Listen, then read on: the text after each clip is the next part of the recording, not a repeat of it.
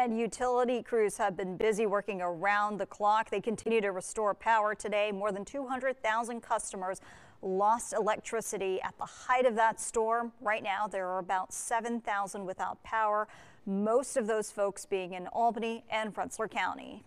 National Grid says uh, most customers would have had their power back by 11 o'clock tonight. Those who are still in the dark might be wondering uh, what it takes to get the lights back on. News 10 ABC's Juliana Bruno giving us a close-up look at the restoration efforts. National Grid crews have been working around the clock to restore power in communities across the capital region. Right now, we're in Delmar, where crews are working on what they call a backlot, where the lines run behind a home. Mike Mullen was working in his garage when the power went out.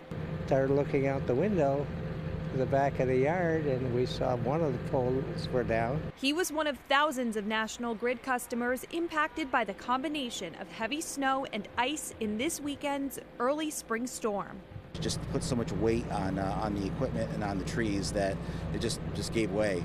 National Grid Communications Manager Patrick Stella explained why many people woke up in the dark again today, despite close to 3,000 crew members deployed to the problem areas. It's scenes like this one at the Mullen's house on Gladwish Road, where not only can replacing the poles take several hours, but also getting back there adds time. Obviously, we can't just run a bucket up to that to, to, that pole, so we have to get equipment in to get back there, or have sometimes we have to climb the poles uh, to make the, to make the repairs. Delmar is one of the hardest hit areas, and where a lot of the work is being done today.